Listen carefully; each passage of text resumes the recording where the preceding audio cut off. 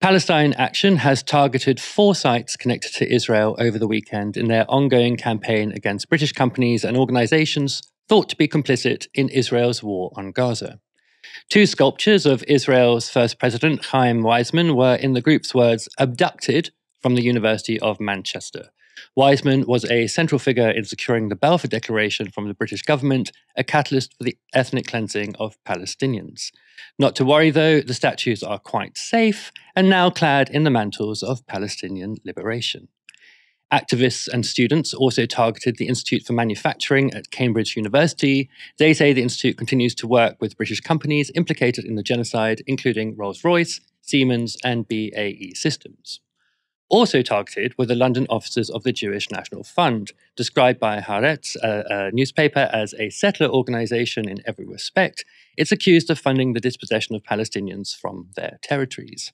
There was another action at the London offices of the Britain Israel Communications and Research Centre, also known as BICOM. The Guardian described the lobbying group as, quote, one of the most persistent and slickest media operations in the battle for influence over opinion formers.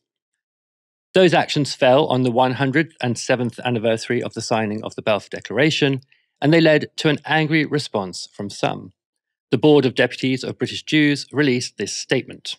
All thinking people should condemn the thuggery and vandalism in London, Manchester, and Cambridge this Shabbat by the Palestine Action Group. The defacement of buildings housing British Jewish charities and university property is intended to harass and intimidate. The environment it creates serves to make many Jews, Jews feel targeted and unsafe in this country and ruins the public realm for the law abiding public. This tragic war began when Hamas began a campaign of murder and hostage taking, with hostages remaining in Gaza. For Palestine Action to boast about abduction, as they did in one of their attacks, exposes the extremism of this group, which is intolerable in a free society. These actions must be punished with the full force of the law, and we will be working with government, police, and university authorities to ensure that a firm line is drawn between legitimate protest and violent extremism. Posting about the BICOM action, actress Tracy Ann Oberman made this comparison. So I always wondered what it would be like living in Nazi Germany. Today I walked into my local high street and found this, with no police presence at all. A Jewish owner building smashed windows and daubed in red paint. I'm shaking with fear and rage. Old people flat next door also spattered. Where is this going to end? Those actions followed a remarkable and hard won success by Palestine Action announced last week. After a long running campaign by Palestine Action, Barclays Bank finally offloaded all shares in Israeli arms company Elbit Systems. Earlier today, I was joined by Max Geller, spokesperson for Palestine Action, I began by asking him about the group's actions this weekend. The most prominent one we took action against was the Jewish National Fund. The JNF, uh, when you target the JNF, you target the central logic of Zionism. That is the racist administration of the land of Palestine. Since its founding, the JNF has settled land for the benefit of Jews only. Uh, this underlines the apartheid practices of the entire state. And at this point, 13 months into the genocide, Palestine Action has decided that any uh, blatant symbols of Zionism uh, will be targeted. And what form did that, that those actions take? We uh, mostly uh, sprayed blood red paint all over the building facades. And yeah, you've had quite a lot of re- reaction. Uh, the Board of Deputies of British Jews said that the actions were designed to harass and intimidate um, British Jews. Uh, Tracy Ann Oberman, the actress, uh, posted a picture of the Hillsdown House um, action and com- seemed to compare it to living in Nazi Germany. What what do you make of those those reactions and those comments from from from from those people? Listen, we are living through the very end of the time where we have to take these people seriously. Soon, the dust will settle. The real death count of the Gaza genocide will come to light. And the monsters who have obfuscated what's been happening for the last year will be held to account. The idea that targeting a building is more important than what's happening in Gaza is just insane. And we're, uh, I, I, don't have a lot to say in response uh, to discredited organizations like the Board of Deputies or to Ms. Oberman. Let's move on to a recent success, which is uh, the divestment uh, by Barclays from Elbit, uh, uh an arms manufacturer that uh, Palestine Action has repeatedly targeted over the last year. Tell me how that came about and uh, how you feel about it.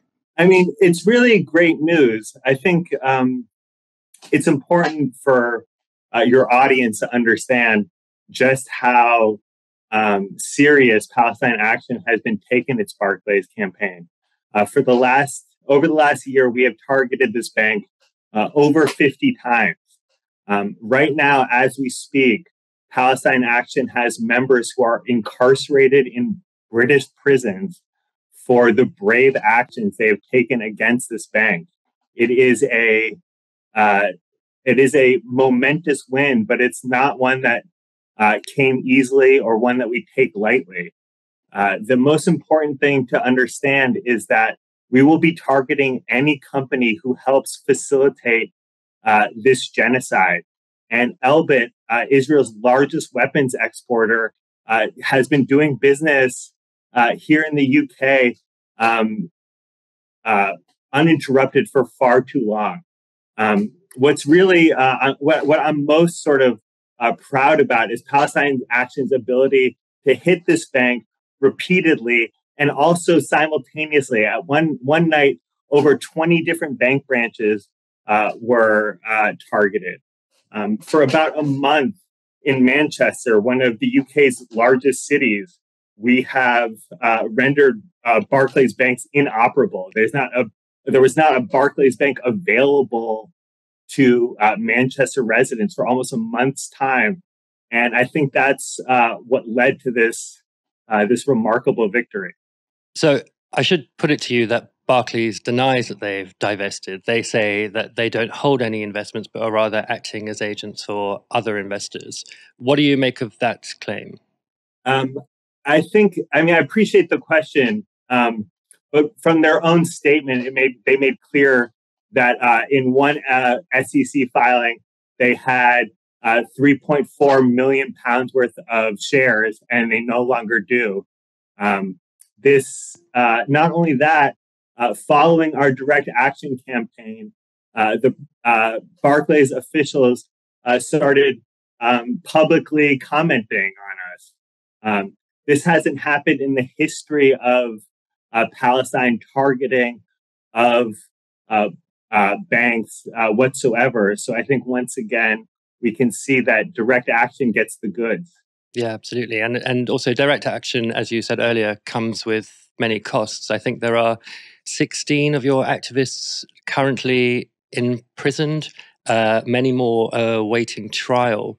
What is life like for them? And um, yeah, what, what what comment do you have on on that? I mean, I really appreciate the question, and I really appreciate the opportunity to come on your show and talk about these uh, political prisoners that we have. These are the most noble, brave, uh, lovely uh, people that um, some of whom I, have actually met. Um, this is a these people are incarcerated for trying to stop this genocide with their own hands, and um, I know for some of your audience, uh, Palestine Action's uh, tactics may seem drastic, but I have to insist to you that these 16 people are just as vivacious and um, important to their communities and uh, just as loved by their friends as uh, you and me and your uh, uh as you and me are by ours and uh, their incarceration represents just as much as of, of a tragedy and an emergency as if you or I were arrested for standing up for what's right. Um, we this this war on Palestine has has started to come home uh, here in the UK. We have nurses missing their NHS shifts. We have teachers missing uh, their uh, their their classrooms because instead of doing their jobs, they are locked up in jail cells uh, simply for trying to prevent uh, more Palestinian death. Um, it's it's extremely important that uh, we as a domestic movement to stop this genocide also start foregrounding our political prisoners because if we in the UK don't do it, uh, no one else will either. What can our audience do to support those, as you say, political prisoners or to support Palestine Action if they don't feel they can get directly involved? Uh, there are numerous ways. I mean, we're always raising money, and um, you can log on to our website to donate.